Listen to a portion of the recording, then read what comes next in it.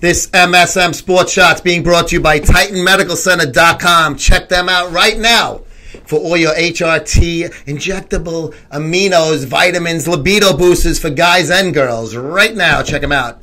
TitanMedicalCenter.com. New York Knicks, not a lot of success in the W's and L's, but a lot of success as far as seeing their young players mature and play very well. Perfect example is Kevin Knox, Frank Ntilikina. I can't pronounce the name. I'll just call him Frank.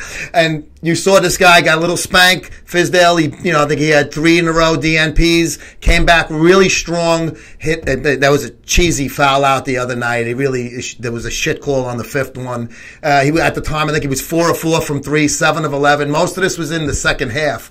And uh, last night they lost Cleveland. The day I'm taping this is Thursday, and uh, Knox played very well. So they're not going to do anything. Just let these young guys mature under a good coach like Fizdale.